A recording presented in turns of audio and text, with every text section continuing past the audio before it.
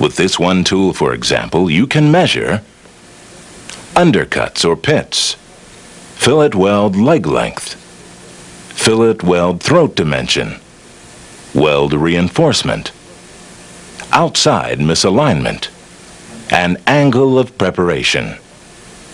To measure undercut or pits, place the tip into area of undercut and lower the legs of the gauge to the surface of the plate. The amount of undercut is read from this scale. To measure fillet weld leg length, place the tip at the toe of the weld. Again, lower the legs of the gauge to the surface of the plate and read the actual leg length from this scale. This measurement should read 3 eighths of an inch for this weld.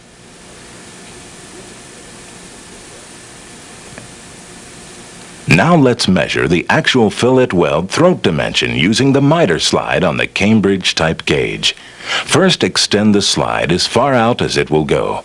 Place the tip of the slide on the face of the weld and lower the gauge until it squarely contacts the surface of both plates.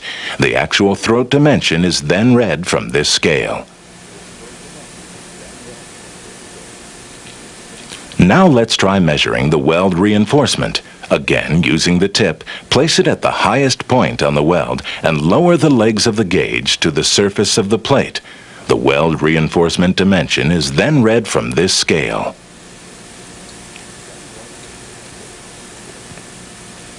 To easily measure outside misalignment in a similar manner, rest the legs of the gauge squarely on one surface of the pipe and lower the tip until it contacts the other pipe. Again, this scale is used to read the amount of misalignment.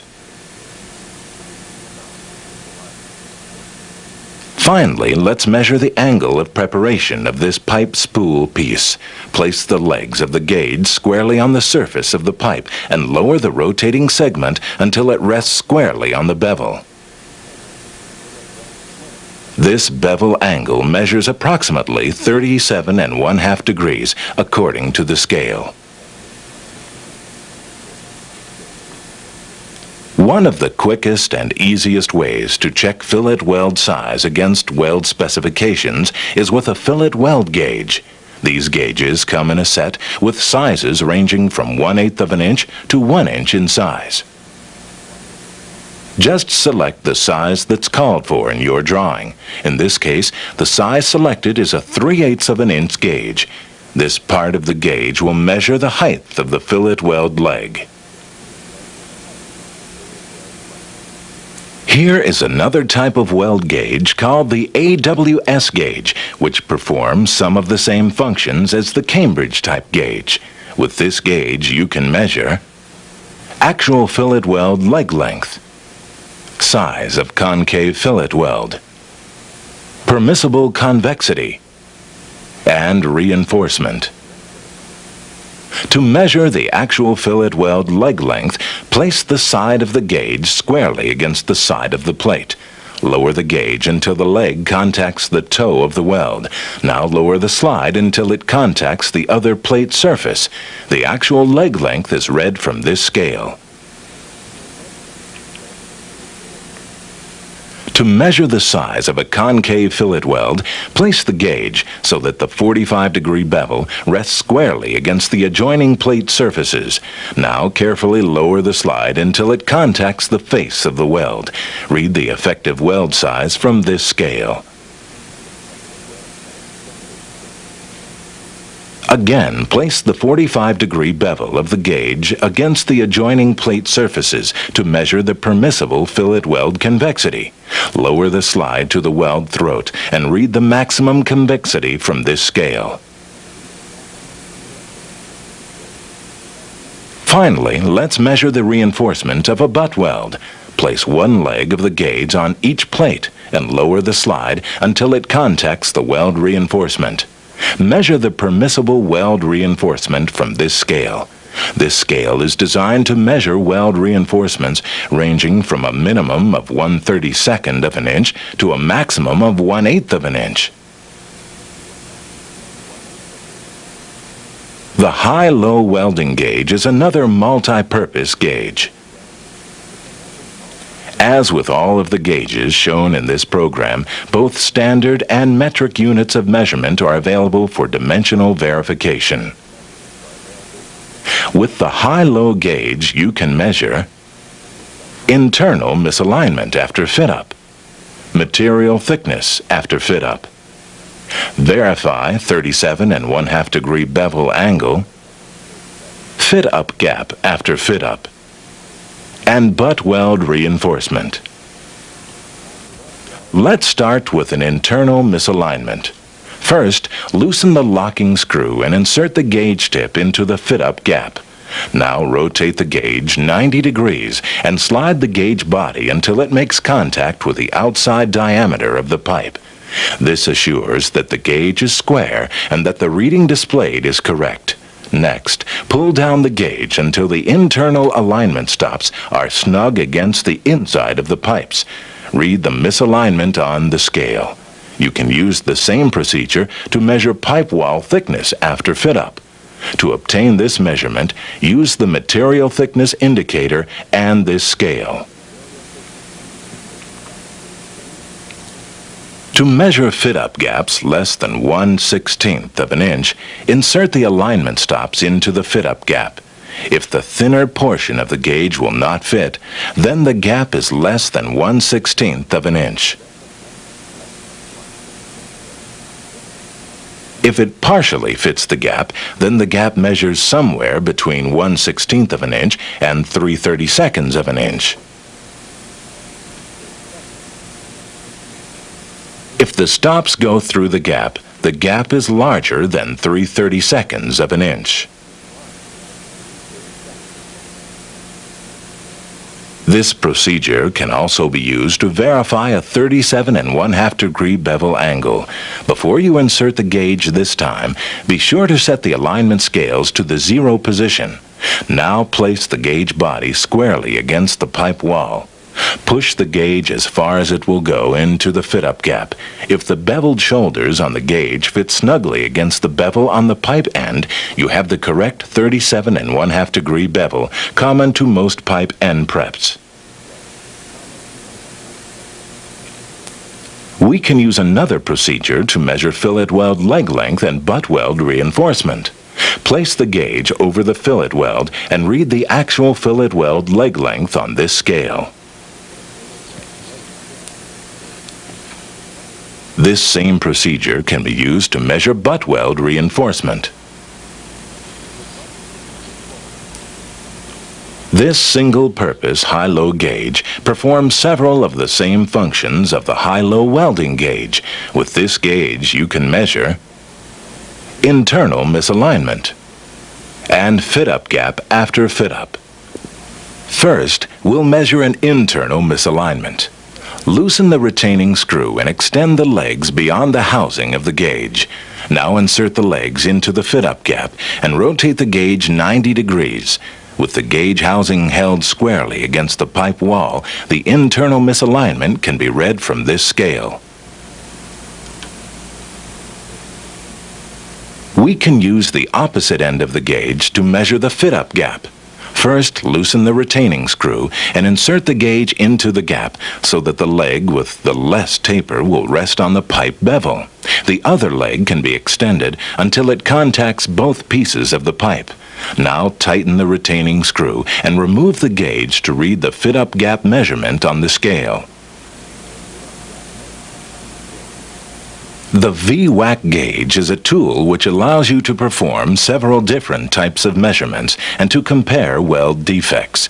With this tool you can measure undercuts or pits, reinforcement of butt welds, outside misalignment, surface porosity per linear inch, and compare surface porosity for size.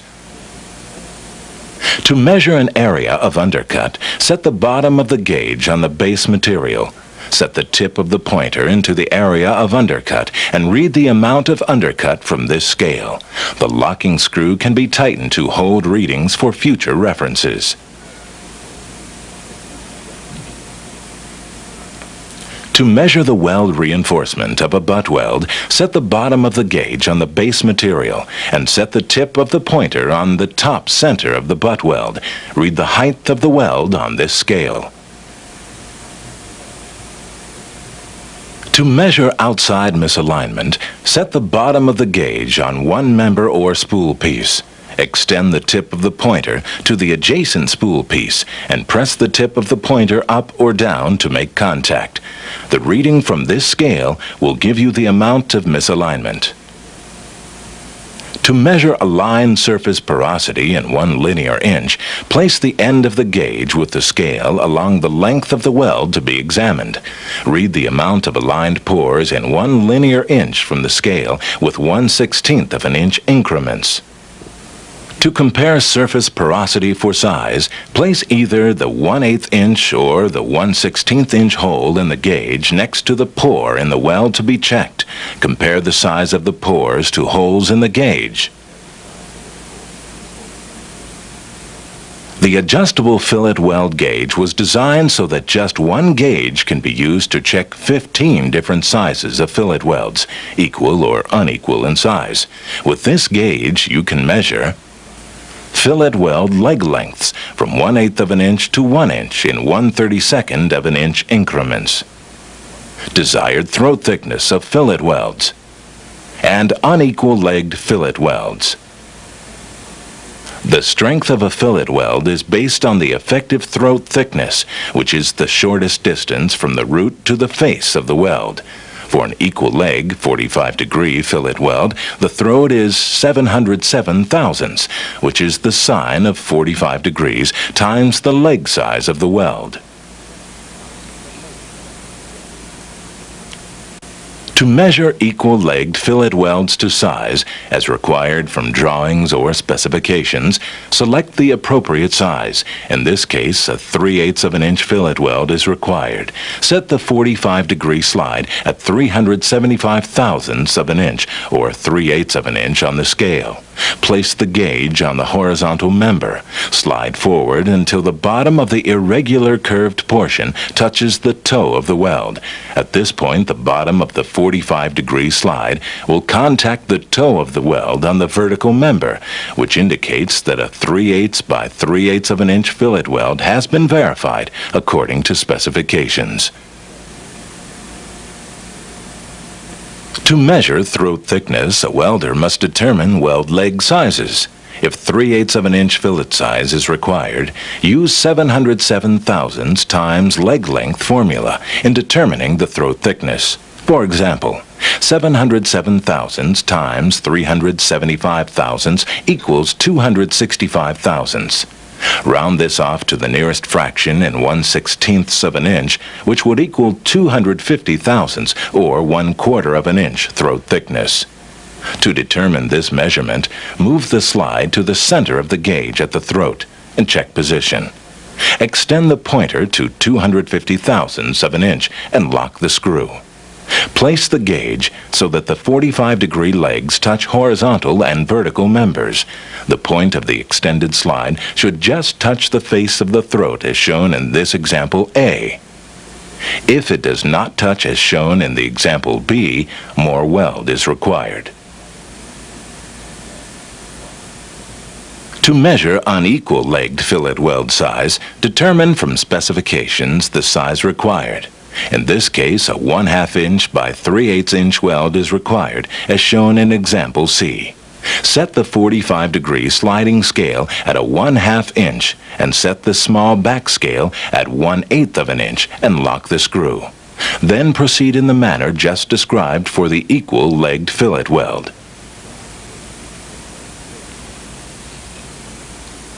Another type of weld defect encountered is undercut that is transverse to the primary stress in the part that is undercut. To measure this weld defect, the Weld Transverse Primary Stress, or WTPS, undercut gauge is used. To measure undercut, place the gauge on the surface of the member next to the undercut area. Insert the 10 thousandths tip into the undercut. With the aid of illumination, determine if light can be seen between the parallel surfaces of the gauge and the base material. If light can be seen between the two parallel surfaces of the gauge and the base surface, the area is acceptable. If no light can be seen,